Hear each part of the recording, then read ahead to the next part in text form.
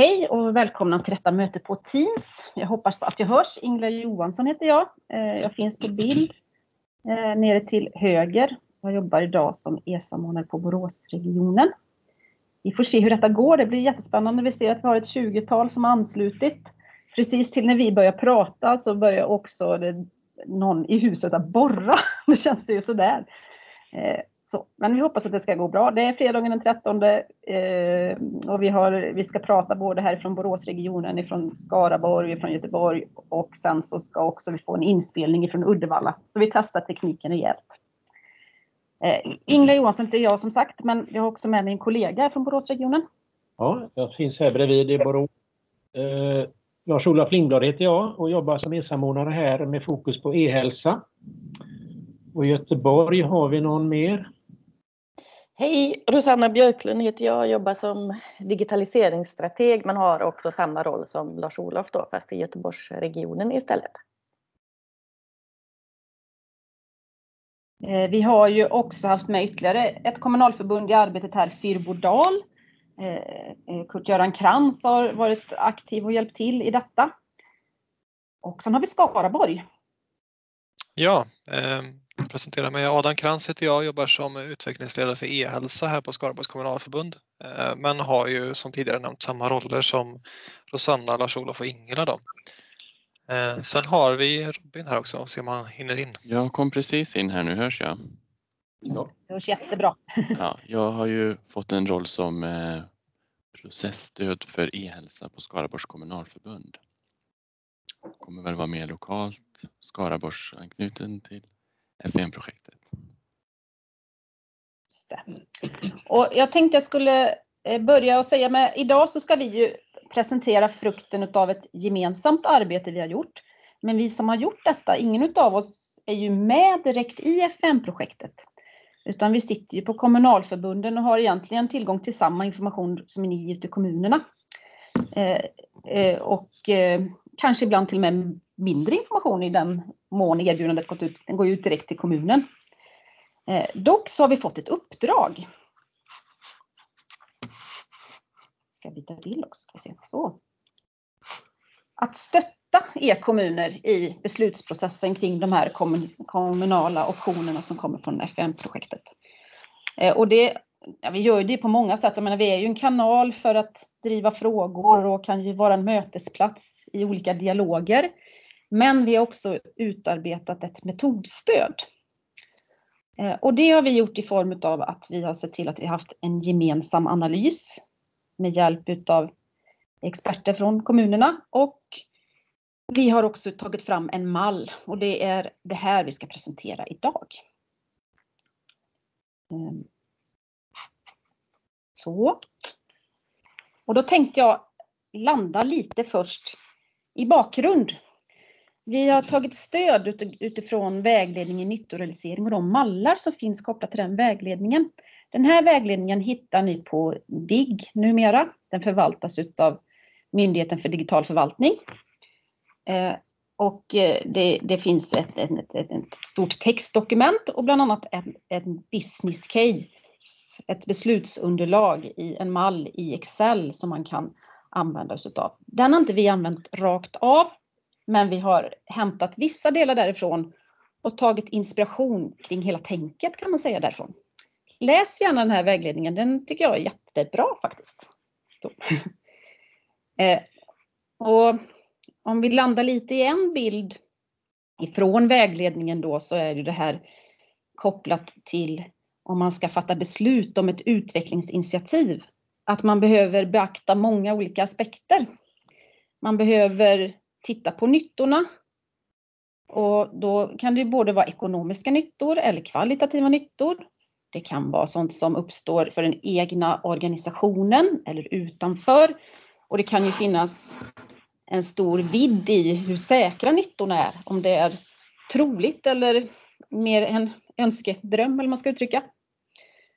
Eh, och man behöver också titta på kostnader och då ska man ju titta på kostnader, inte bara kostnader som man har just nu, utan kostnader också i förvaltning i förlängningen. Eh, man behöver titta på angelägenhet. Det kan ju vara så att en, en utvecklingsinsats inte går att räkna hem i pengar, men det ändå ligger i linje med mål och strategier inom den egna kommunen eller organisationen eller att det finns en hög politisk angelägenhet eller en teknisk angelägenhet därför att system går ur tiden. Eller att man behöver för att stötta organisationen. Och sen det sista perspektivet då, genomförbarhet. Alltså vad har man för förmåga att bedriva igenom det här utvecklingsinitiativet? Hur har man det med kompetens, resurser? Hur ser det ut med tekniska förutsättningar, juridiska förutsättningar och så vidare? Det var den korta teoretiska bakgrunden utifrån vad vi har hämtat näring. Ehm. Det är ju så här, man glömmer ju lite av vad man ska säga också. Eh, så jag ska faktiskt stanna, stanna här en liten stund och säga det att har ni frågor, skriv gärna eh, in dem i chatten.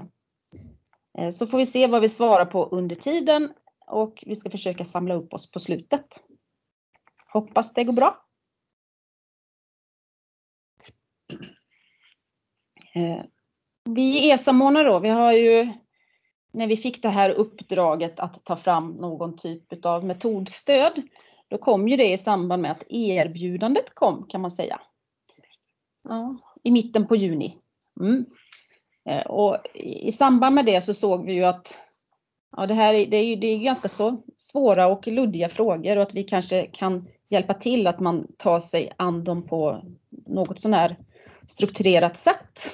Ehm, så vad vi gjorde, det sista vi gjorde innan merparten av oss gick på semester, det var att ha något slags förarbete där vi tittade på eh, vilka, vad vi tror skulle komma ut ifrån de respektive olika optionerna, utifrån filmerna framför allt. Och vi tittade på vilka tror vi kommer ha nytta utav respektive option, vilka olika roller, funktioner i kommunen är det som har nytta.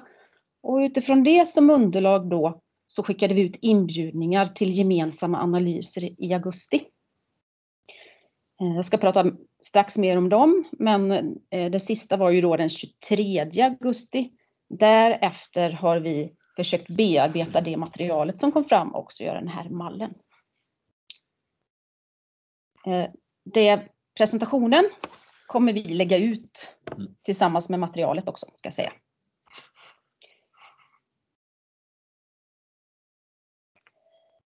Det var ju väldigt roligt att komma tillbaks där efter semestern och se att oj, här var ett jätteintresse av de här workshopparna vi hade bjudit in till. Eh, så stort så att vi faktiskt inte riktigt kunde hantera det. Så när det gäller option 1 så kunde vi inte ta emot alla som ville vara med. Eh, vi höll till på Göteborgsregionen och vi hade en lokal för typ 25 personer och det är svårt att workshoppa med allt för många kan man säga.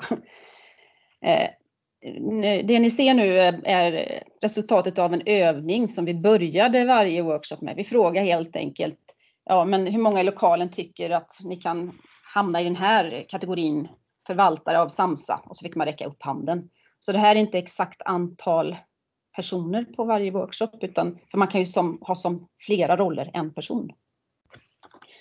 Eh, på varje workshop hade vi också deltagande från kommun-FVN-projektet, vilket var jättebra för då kunde de ju bryta in i diskussioner om vi var ute på djupt vatten eller klargöra vissa frågor i alla fall. Sen finns det fortfarande många osäkerheter.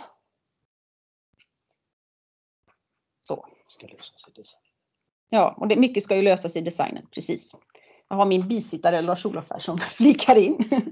Ursäkta, jag viskade men jag försökte sufflera här. Men eh, jag kanske ska säga direkt nästa gång. Ja. Eh, det får du, det är bra. Tack. eh, vad var då uppgiften på de här workshopparna? Jo, det var att eh, man skulle identifiera nyttor. Vi delade in eh, mötet i, i alla de här tre övningarna i tre olika grupper respektive möte. Man fick lite olika områden att leta nyttor inom. Eh, och, eh, men man fick också i uppgift att titta på, ja, men om det här ska bli nytta, vilka hinder, vilka problem, vilka risker ser vi? Det symboliseras i den här bilden av den rosa lappen. Sen så fick man, kom det också upp så här, ja, men ett krav till projektet är det här eller en förutsättning för att någonting ska lyckas är det här. Det dokumenterades på gröna lappar. Och sen skulle man också fundera på, finns det någonting här man kan värdera? Och lite kort då, eh, när, man, eh, när man har identifierat nyttor och risker och hinder, då kan man sätta upp detta i en struktur. Eh, om ni tittar på det pedagogiska exemplet med A, B och C. Om vi får lättare tillgång till läkemedels listan så leder det till att vi kan frigöra arbetstid att jobba med annat. Eller om vi ska kunna frigöra arbetstid så kräver det att eh, läkemedelslistan finns tillgänglig på ett praktiskt tillämpbart sätt för till exempel undersköterskor. Det var en sån här grej som vi har eh, eh, tragglat lite kring som exempel.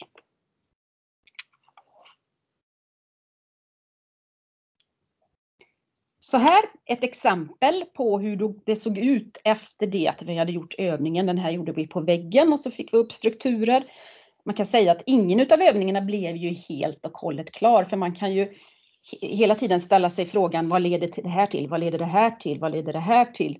Vad kräver det? Vad kräver det? Vad kräver det? Så det skulle kunna bli jättestort. Men vi, vi nöjde oss med att vi nyttjade tiderna på de här mötena och fick upp så mycket som möjligt. Så det här är ett exempel på hur dokumentationen såg ut därifrån.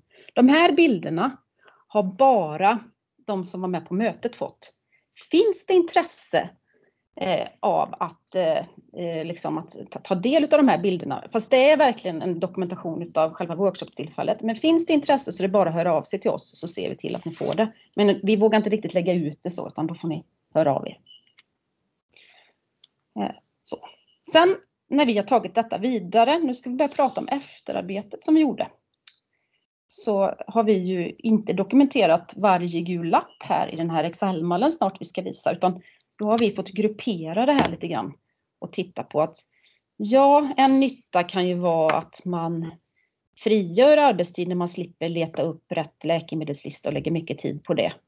Och så har vi beskrivit det med alla risker, problem, förutsättningar, krav har vi försökt koka ner det till en rad. Så.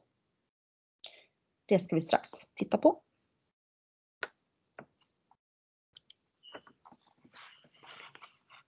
Eh, och så jobbade vi då fram den här mallen som lite sneglar då på vad man har gjort kopplat till den här vägledningen för nyttorealisering. Så de har med de perspektiven som jag nämnde tidigare. Vi har tagit den gemensamma analysen och lagt in det i mallen. Alla nyttor, alla risker har vi lagt in där, som vi, ja, fast summerat då kan man säga. Eh, och då skulle jag vilja säga att eh, när vi liksom lämnar över den här mallen, då får man ju se det som, här är ett förslag. Så får man ta ställning till i respektive kommun. Ja, vi tror på denna nyttan eller ja, vi tror på den här nyttan och utifall att man också ställer det här kravet eller utifall att man minimerar den här risken. Och eh, samma sak då, ja, egentligen med allt innehåll, att ni får, ni får ta det som ett, ett första utkast, men ändra på allt. Gör det till ert eget. Så. Sen har vi jobbat vidare med att utifrån de nyttorna som workshopdeltagarna såg var möjliga att räkna på har vi tagit fram en del räkneexempel. Det kommer vi visa lite mer i detalj.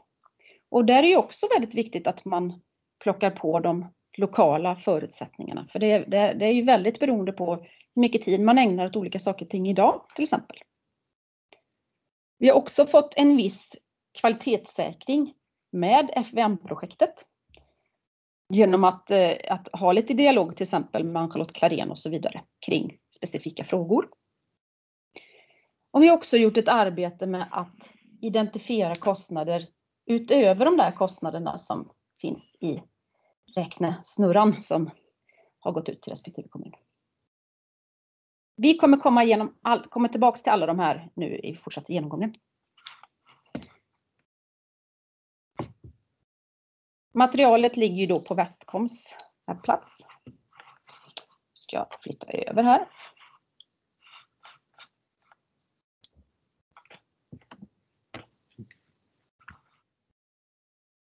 Eh, och jag tänker faktiskt göra så här nu, för jag tycker att det kan vara lite svårt att hitta. Så om vi börjar på startsidan under e-samhälle digitalisering. Så har vi ett område då, FUM, där allt kring FUM är samlat. Från Västkoms sida kanske jag ska säga. Här under optioner och erbjudande. Där finns analys av FM-erbjudande metodstöd från kommunalförbunden.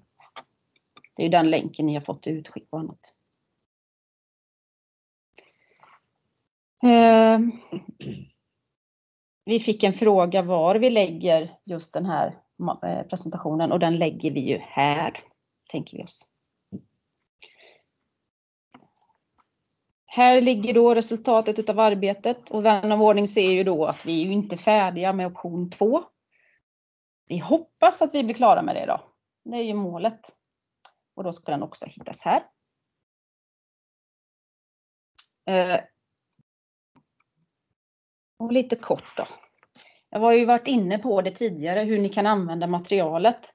Det här är ju bara någon slags utkast som ni kan använda om ni vill, eller delar utav eller hela utav. Men man skulle ju kunna till exempel samla en grupp med chefer och medarbetare från berörda verksamheter, IT och andra nyckelfunktioner och gå igenom perspektiv för perspektiv tillsammans. Det kan ju vara olika professioner som kommer behöva vara mer aktiva till olika perspektiv. Så. Sen vill vi, och vi kommer återkomma till det med, vi vill ju också kanske då lyfta in att, att, eh, att det här är ju FVM, är ju ett strategiskt omställningsprogram och att det kanske framförallt är ett strategiskt vägval. Det får man inte glömma av. Det här kommer ju till exempel in i politisk angelägenhet, eh, skulle jag säga. Därför har vi också sammanställt ett litet dokument med olika strategier man kan luta sig tillbaka på. Det var eh, fil nummer tre här. Nu ska vi öppna upp mallen. Vi kommer bara visa för option 1, informationsdelning, och med den som underlag förklara vad det, hur vi har byggt upp den. Så.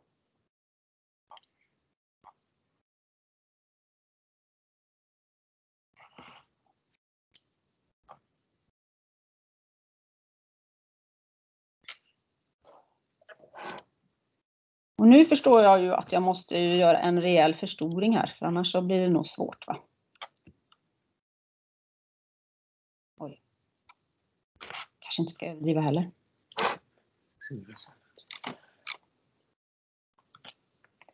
Första bladet är bara en läsanvisning. Den eh, säger lite grann det som jag har sagt och den information också som ligger på Västkoms webbplats. Eh, där talar vi också om alltså, hur arbetet här med workshoppar och annat, hur det har gått till. Sen finns det då ett antal blad. Nyttor för kommunen, värdering, kostnader, angelägenhet, genomförbarhet, genomförbarhet och risk och hindersanalys. I, i, i, i ehm, den här vägledningen, ja tack, så så är, ingår risk som en del i genomförbarhet. Det är på det sättet man tittar på risk inför att fatta beslut om man ska eh, satsa på en viss utveckling eller inte. Så. Eh, det finns en sammanställningssida. Den ska ni inte behöva vara inne och, och, och eh, göra så mycket med utan den kommer populeras allt eftersom. Jag tänker vi avslutar där får vi se.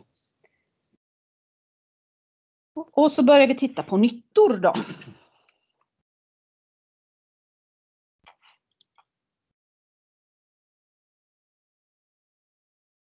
Och jag ska göra större även här förstår jag ju. Här ligger ni, om ni kommer ihåg den här bilden där vi grupperade nyttor. Här liksom ligger de. Att Eh, vi får en ökad tillgång till rätt information i rätt tid. Det låter ju vackert. Men man får läsa det finstilta. Eller det som vi var inne där, frigjord arbetstid i vården med tillgång till en läkemedelslista. Så här ligger det som kommer ifyllt ifrån workshopparna. Till det finns det då en beskrivning som beskriver eh, alltså varför vi ser att detta är nytta. Du kan när som ta del av patientens journal utifrån de delar du har behörighet till, den rätta aktuella läkemedelslistan och eh, du har tillgång till information direkt när någon dokumenterar. Alltså, du kan läsa och titta. Men att, och det är ju själva beskrivningen av nyttan, men för att den ska realiseras så hade vi ju där ett antal frågor, ett antal farhågor, risker, krav och så vidare. Eh, och de har vi lyft in här. Så här är det viktigt att läsa. Eh, och det där kan man sedan då packa ihop. Eh, så. Eh, till exempel här på den här första då så ställer vi frågan Kommer vi bara få tillgång till information under pågående planeringsärenden eller tills vidare? Oklart hur det fungerar och påverkar också nyttoantagningen. Så. Eh, sen behöver man ju då sluta med att göra någon typ av övervägning. Är den här nyttan säker eller inte? I, i vårt arbete utifrån den informationen vi har fått tillgång till så kan inte vi säga att några nyttor är säkra, kan jag ju säga. Eh, men eh, så vi har ju landat på det som vi liksom har tittat på, att det är viss osäkerhet eller osäker. Eh, och här tycker jag också att ni ska fundera på det. Liksom, hur ser ni på det här utifrån de förutsättningarna som gäller för er kommun? Sen har vi gjort en väldigt oortodox tolkning kring typ av nytta. Man kan ju prata om ekonomiska nyttor, man kan ju prata om kvalitativa nyttor. Eh, och vi har också lagt till en tredje kategori som blir äpplen till bananerna, eller man ska säga äpplen, päron och bananer, ja. som vi kallar frigjord arbetstid.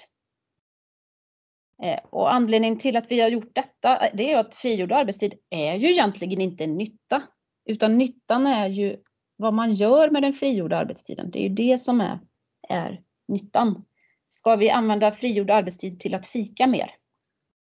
Ska vi använda frigjord arbetstid till att ha mer kontakt med elever, patienter? Ska vi använda frigjord arbetstid till att eh, minska på resurserna till, till den aktuella verksamheten? Alltså det är ju rätt tuffa beslut kring det där kan jag tänka. Och det är också ett, det, och det måste ju varje kommun uttrycka hur man ser på. Så. Det kan inte, så måste det vara. Sen eh, behöver det ju kanske då göras en värdering. Det är ju trevligt om det kan göras det. Här finns det ju ett exempel då med en siffra och den siffran är ju tagen från nästa blad. Och det är ju bara ett exempel, så just i det här fallet får ni inte bara ta den nyttan utan då måste ni gå igenom beräkningen på nästa sida. Och det ska vi snart titta på.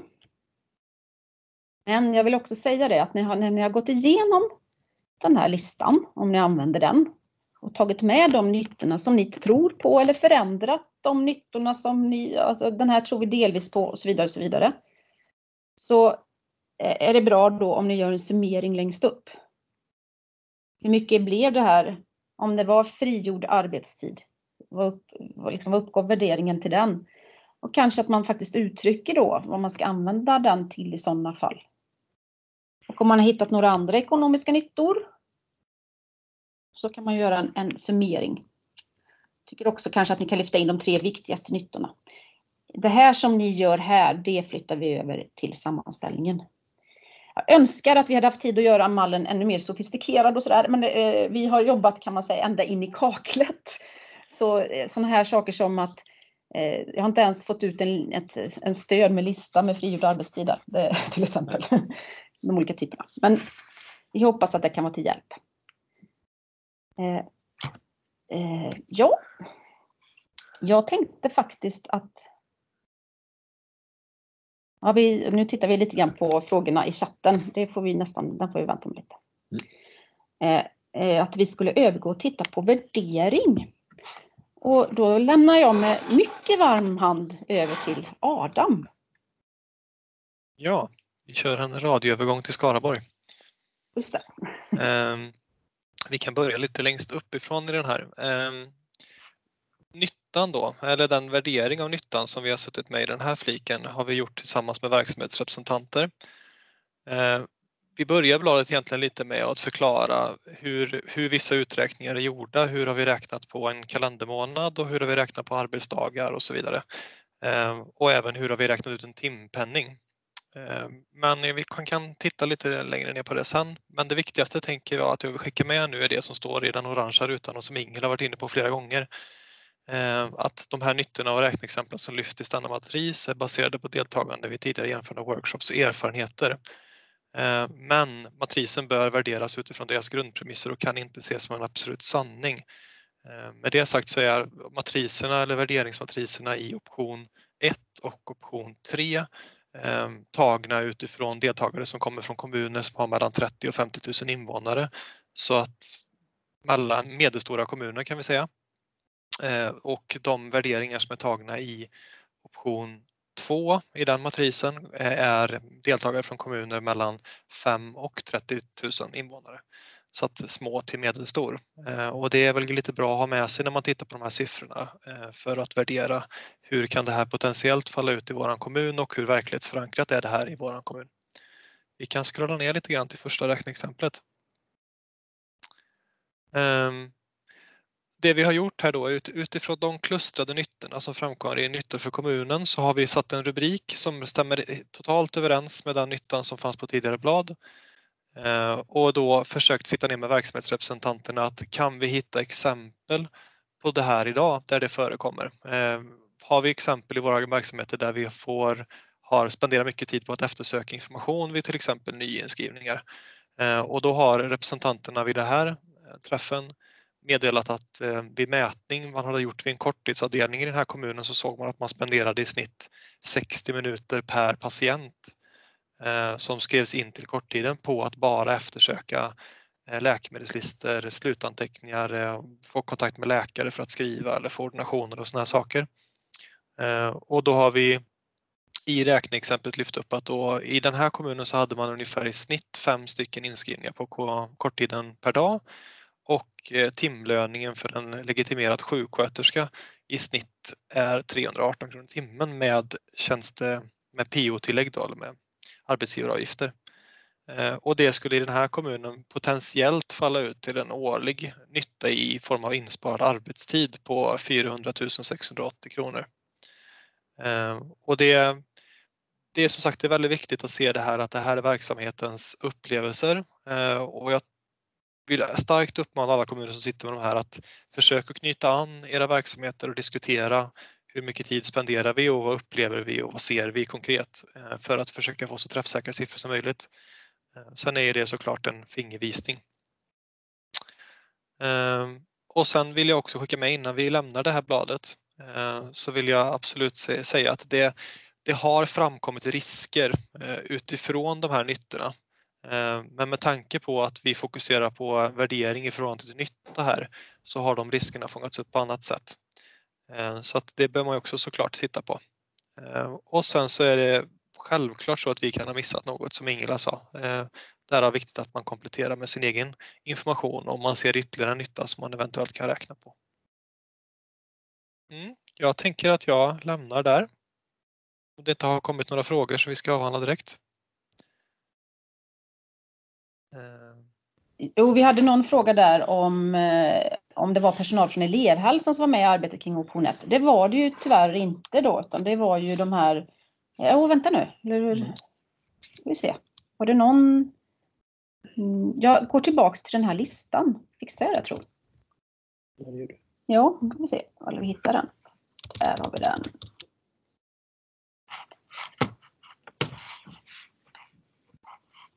Strax. Ja, det här skulle jag nog inte försökt sysselsätta mig med tror jag. Vi, vi, vi, vi återkommer till den frågan tror jag.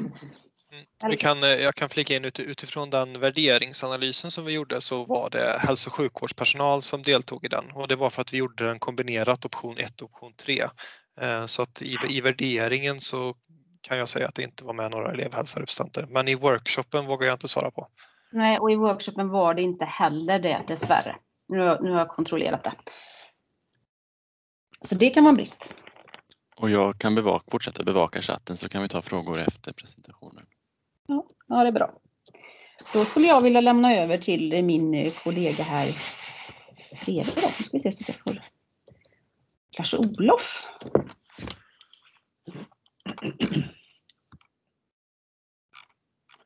Ja, och då har vi ju gjort ett försök att försöka kartlägga vilka kostnader det är som uppstår nu när man eh, avropar option 1 till exempel som vi har framför oss. Och då har vi grupperat dem i tre områden och det första är ju de här direkta kostnaderna som, som vi vet kommer och det handlar ju om eh, det som man, de parterna man tecknar avtal med och Cerner är ju den ena. Och det är ju en tredelad kostnad kan man säga. Det är licensen och så är det årsavgiften för Millennium och sen har man en kostnad för införandet. Och eh, de beloppen de har ni ju fått direkt till varje kommun och sen vill man ha hjälp att räkna så finns ju räknesnurran, kalkylsnurran. Sen ska ju systemet driftas och då är det Vegarite som eh, sköter driften och förvaltningen av systemet. Eh, hämtas också från kalkylsnurran. Sen har man en kostnad för utbildning och eh, om vi uppfattar det rätt så ingår ju en första utbildning från leverantören där man tränar den eller utbildar den som ska utbilda vidare i respektive kommun. Och hur, hur, man räknar där, det görs ju lite olika i kommunerna. Men vi har tagit med den som en rad här och då kan man själv välja och räkna på vanligt sätt. Och det handlar naturligtvis med, om eh, hur många det är och eh, om man räknar vikariekostnader och så vidare. Sen har vi tagit med indirekta kostnader och det kan ju vara våra kostnader som kommer till eller försvinner. Eh, och här har vi tagit upp exempel som vi har eh, uppfattat det, som vi har läst i underlag och sett på filmen eller funderat själva i under den här processen. Och här, precis som eh, i övrigt, så får var och en fundera på vad, vad gäller för våran kommun. Så det här bör man ju se som en eh, bruttolista då. Och sen har vi lagt en, eh, en sista, ett sista avsnitt där det kan vara andra kostnader som vi överhuvudtaget inte har reflekterat över, men som finns i någon kommun eller några. Så det här eh, är ett stöd att komma igång och göra den samlade bedömningen av kostnader som kommer till eller avgår. Mm. Så tänkte jag att man kan använda den här fliken. Så lämnar jag där. Och då ska vi tagga vidare. Eh, jag fick också en fråga, ja, vi kan vänta med frågorna. Vi, vi taggar vidare så, så tar vi försöker summera upp där sen. Till angelägenhet. Och eh, då tror jag att vi har Rosanna från Göteborg här. Hej hej, jag är här. Eh, angelägenhet och genomförbarhet och riskdelen eh, är ju egentligen bara en kopia av den modell som Ingela gick igenom tidigare här som kommer då från DIGG. Eh, men i angelägenhet-fliken så får ni fyra olika parametrar och det är måluppfyllnad och strategier, politisk angelägenhet, teknisk angelägenhet och efterfrågan inom kommunen. Eh, och där har ni då en möjlighet att värdera de här angelägenheterna. Hur viktigt är det för er att just den här insatsen implementeras? Och det går ju då från mycket låg till mycket hög.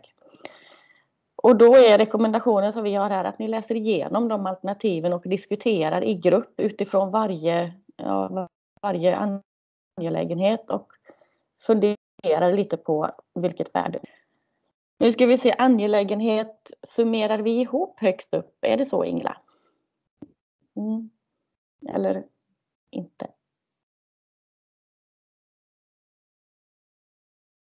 Det är bra att ha på mikrofonen när man börjar prata.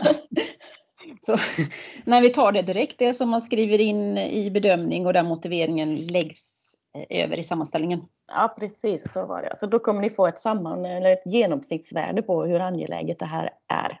Nej, ingen, ingen sammanvägd bedömning utan respektive perspektiv redovisas i sammanställningen. En för varje ja, område. Ja, det är bra. Tack så mycket. Då kan vi gå vidare till genomförbarhet-fliken istället.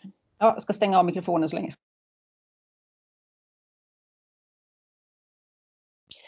Den här fliken är ju också, som jag tidigare sa, en kopia ifrån eh, den nyttoanalysen som ni får från DIGG. Här är det några fler områden, det är nio stycken, jag ska inte rabbla allihop, men syftet med den här analysen, det är ju att se hur genomfört, genomförbart är det att eh, ta de här optionerna det är ju för att ni ska få hjälp att analysera arbetet som ni kommer få i er egen kommun med till exempel utbildning eller om ni behöver ändra i system eller ändra arbetsprocesser.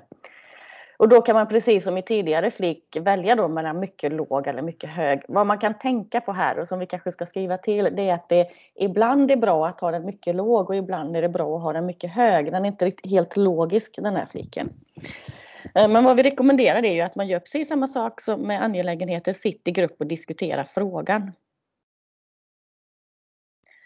Och sen kan vi då också göra en sammanställning på vad ni har kommit fram till och det är den rutan som Ingla nu har eh, markerat.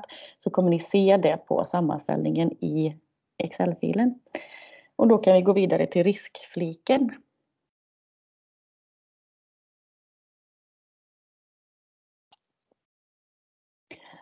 Ehm, här har vi då lagt in de riskerna som vi har identifierat hittills. Eh, dels från de nyttoanalyserna som vi gjorde, men jag tror det också är några andra risker.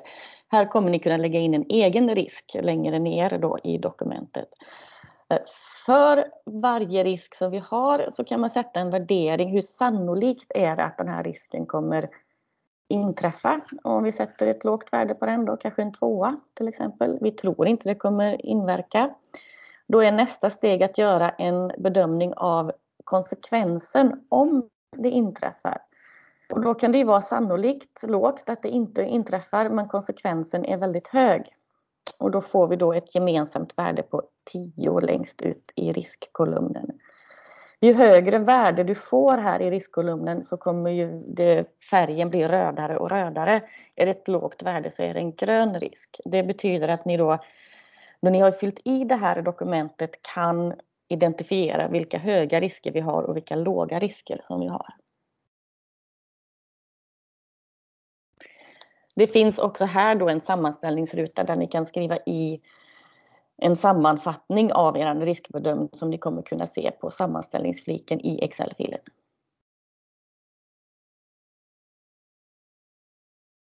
Och det kanske är en radioövergång övergång till det sista bladet då. Ja. Eh, det är ju själva sammanställningen.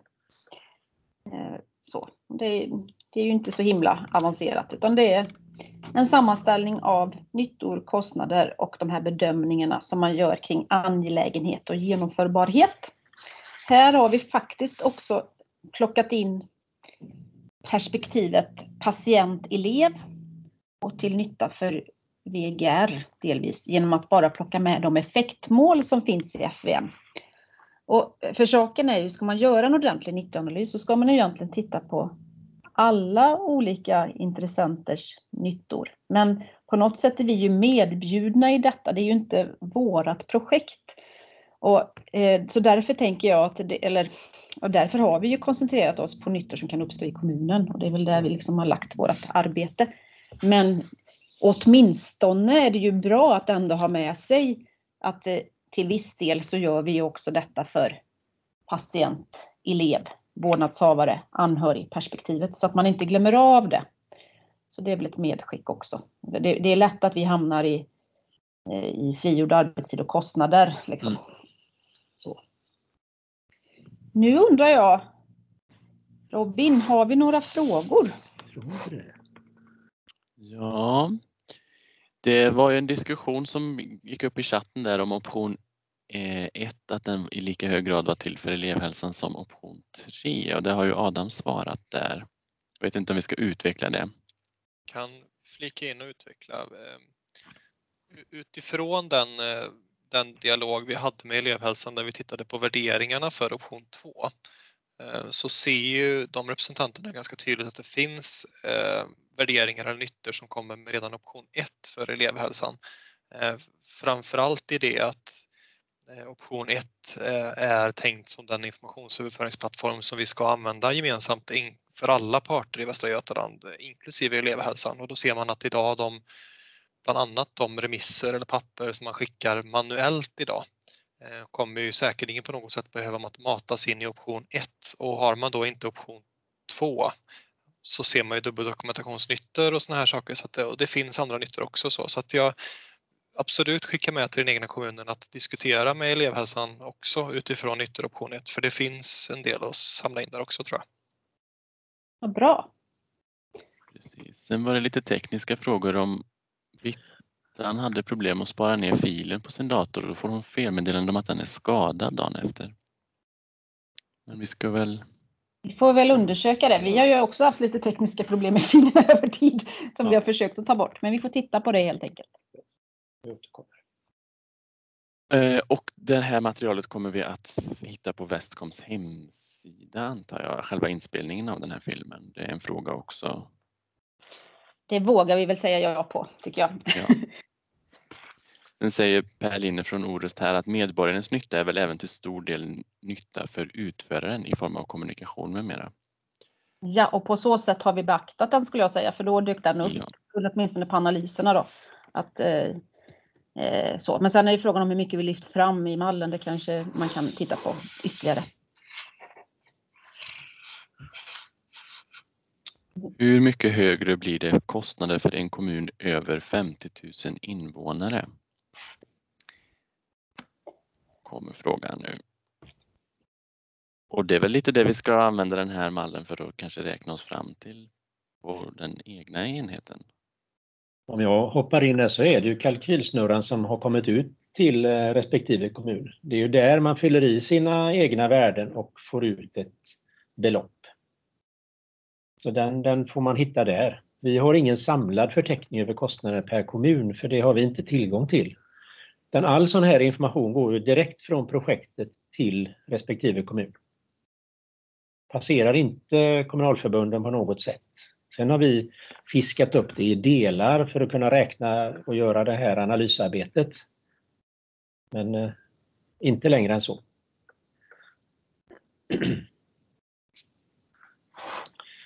Just nu har vi inga fler frågor i chatten. Ska vi vänta in en liten stund? Jag kan säga det så länge att, att eh, det kan ju också vara intressant att fundera på hur man jobbar vidare med detta.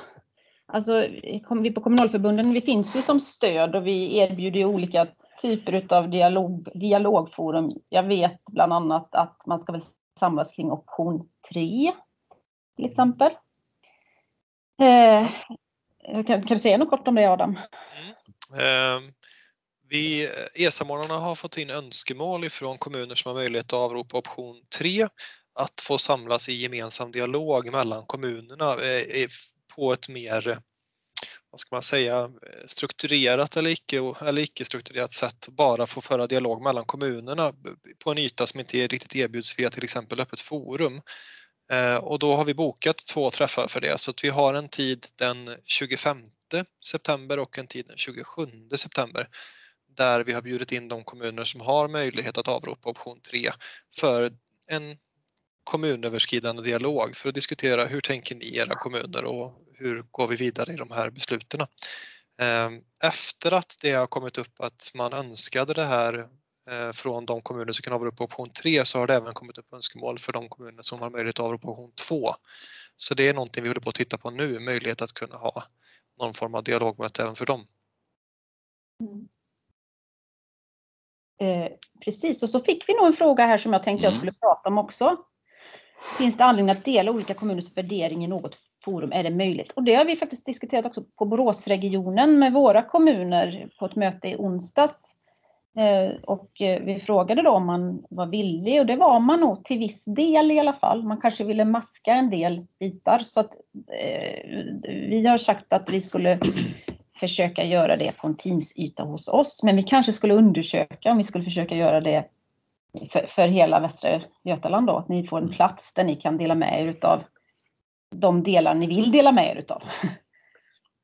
Och om, om man kan väl förtydliga det, det som man upplever som lite känsligt det är ju det här arbetsmaterialet, hur mycket av varje, hur många timmar och hur mycket man skulle kunna spara på de olika nyttorna till exempel. Mm.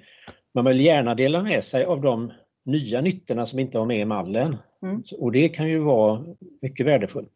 Mm.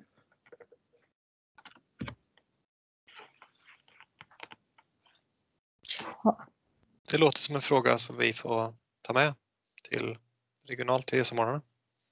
Det tycker jag. Absolut. Hur har vi det? i- Har vi fler frågor? Inga frågor. Inga frågor. Ska vi göra så då? Är det något mer vi behöver säga? Nej. Då, då ska vi jobba med, dels försöka få ut den här inspelningen på Västkoms webbplats där ni hittar också mallarna. Vi ska också jobba i eftermiddag med att försöka få ut option 2. Så att vi, vi säger tacksamt tack och adjö och kastar oss över arbetsuppgifterna. Tack så mycket! Tack och hej! Tack, tack. Hej, hej.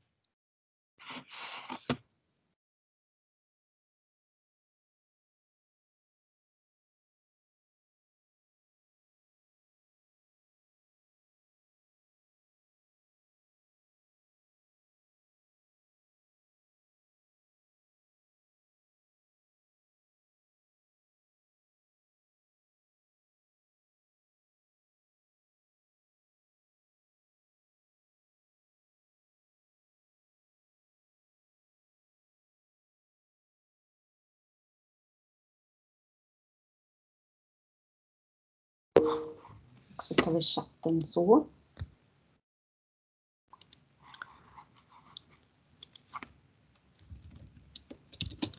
Ja, det är bara han som kan göra det kabeln.